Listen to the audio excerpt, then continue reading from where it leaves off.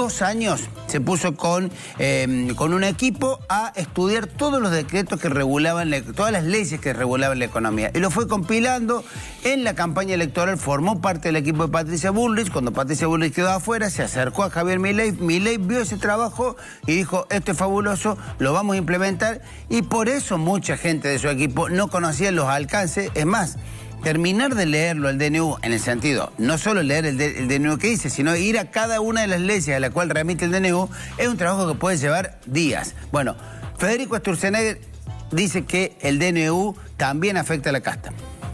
Este DNU fue dos cosas, libertad para los individuos y competencia.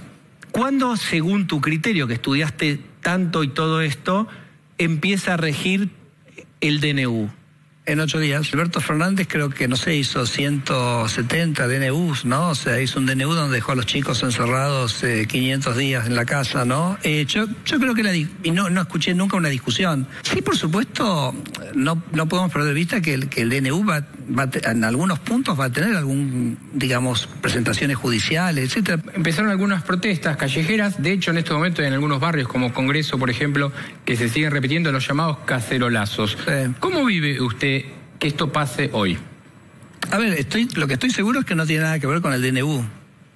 ¿Y con qué tiene que ver? No, porque el DNU es todo a favor de la gente. O sea, el DNU es básicamente da más libertades y en cierto sentido va contra la casta para favorecer a la gente. Argentina está extraordinariamente sobreregulada, está eh, el peso del Estado, entonces confiemos más en el individuo, démosle más libertad al individuo. Yo creo que Argentina tiene que ir a un capitalismo con reglas que sean las mismas para todos pocas reglas, los mismos impuestos, y me parece que eso es un principio básico que tendría que tener la Organización Económica Argentina, definitivamente. Me parece que es un gobierno mucho menos, bueno, porque es eso, es lo que la gente votó, un gobierno que no es de la casta.